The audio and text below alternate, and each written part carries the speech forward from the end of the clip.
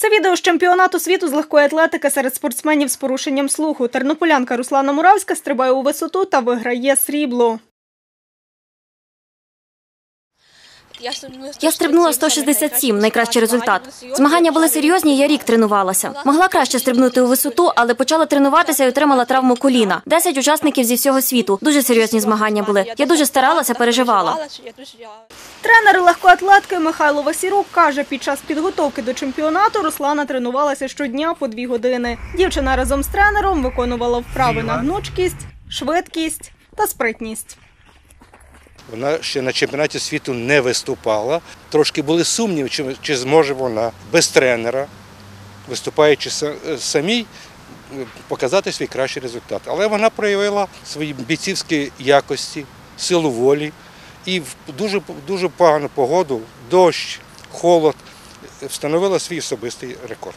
Руслана каже, першим, кому розповіла про свою перемогу, був батько. Дівчина каже, саме він записав її в секцію легкої атлетики. В Сім років я її привів до Михайла Степановича Васюрука, то мені дали пораду в спорткомітеті. Бо ми, ми думали, куди звернутися, бо є різні напрямки спорту, є командний спорт, є індивідуальний. Нам порадили в індивідуальний спорт. Буквально через декілька місяців вона вже виграла в нас обласні змагання, маленькою ще вона стрибала ще метр.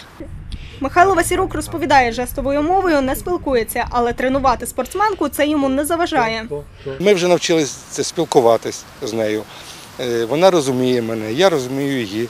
Ну і ми виконуємо ту роботу, що і здорові спортсмени.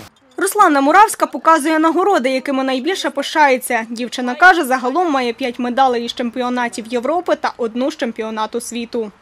Німеччини були. В Німеччині зайняла третє місце у стрибках у висоту. А перше місце я була юніорка, я зайняла у Болгарії. А зараз маю чемпіонат світу в Польщі, де зайняла друге місце. Польщі Зайняла друге місце. Зараз дівчина готується до Дефлімпіади, яка відбудеться в Бразилії наступного року. Мирослава Західна, Андрій Бодак. Новини на Суспільному. Тернопіль.